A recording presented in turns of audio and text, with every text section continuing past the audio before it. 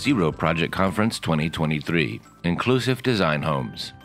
In the session, Inclusive Design Homes, we had the opportunity to know more about different experiences and amazing projects where innovative technology and accessibility can be combined to find solutions for people with disabilities in their homes.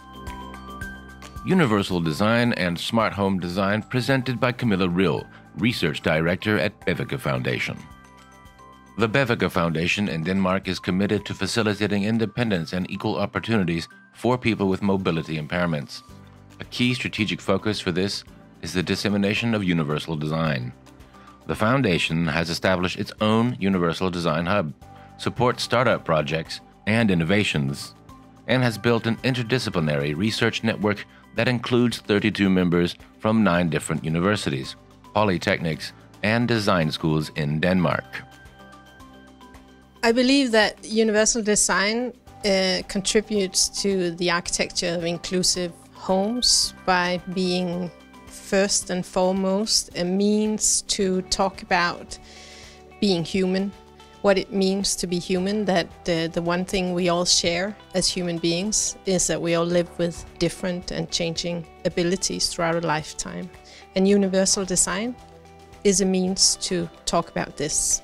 I think it's necessary to talk about universal design as an interdisciplinary tool in order to solve the real problems that we all face when we are trying to design a, a, an environment, a society that is inclusive for all. The problems are complex and they need to be solved interdisciplinary. Keystone Human Services presented by Greg Willems, Vice President, Operations. Keystone Human Services from the USA launched a project in 2018 that supports people with intellectual disabilities in their everyday lives. It combines easily available technologies such as Alexa with specific tools to achieve individual goals, from cooking independently to staying overnight without paid staff.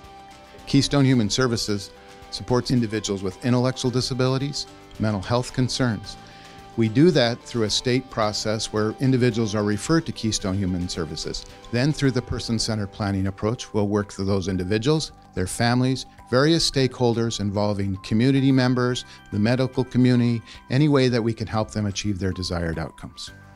Then, then we incorporate the available technology, whether it's assistive technology, enabling technology, remote supports, any way that we can help that person achieve those desired outcomes to be contributing members of their community. Smart Living by LAD, presented by Susan Brown Knight, CEO, and Brian Hart, COO. US based living arrangements for the developmentally disabled, LAD, introduced Smart Living in 2017, which combines personal care with smart home technologies and virtual support. Smart Living aims to reduce the number of in person staff required. By 2022, Smart Living has helped more than 50 people.